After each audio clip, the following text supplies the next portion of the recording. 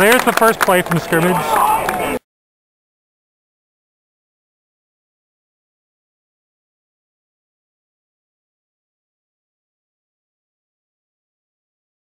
Has deflected in the line of scrimmage.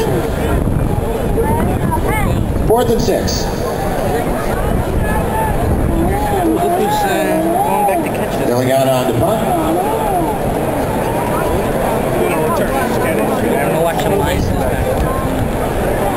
is deep.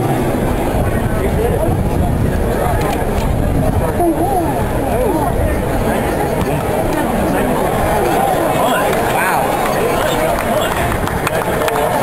Oh.